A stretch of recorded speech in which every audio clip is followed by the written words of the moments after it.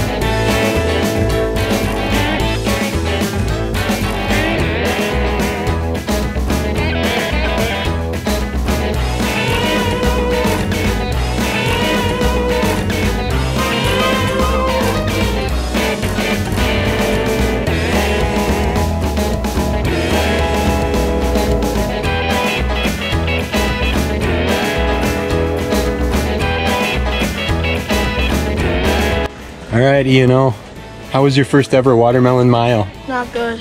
What was the toughest part? Eating. Just too much watermelon? Eating and then And that's coming from me. Yeah. E-Man, what was the hardest part for you? eating. Eating. Your tummy hurt? And we found out that the four laps is more like a mile and a half around the pond.